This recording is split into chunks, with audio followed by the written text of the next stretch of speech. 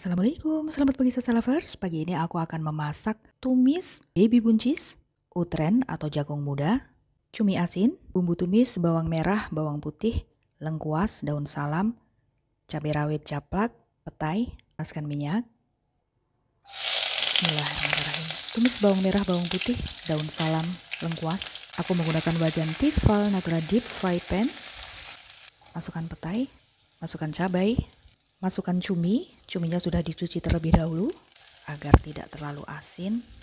Tips memasak tumis itu minyaknya agak banyak. Masukkan utren, masukkan buncis. Diaduk sampai layu. Ini belum aku tambahkan air, tetapi karena penggunaan minyaknya cukup banyak, maka ini bisa mematangkan sayurannya. Boleh ditambahkan air garam sedikit saja karena cuminya sudah asin. Ini sudah matang. Sudah aku cicip rasanya gurih, pedas, lezat sekali. Tumisnya sudah jadi.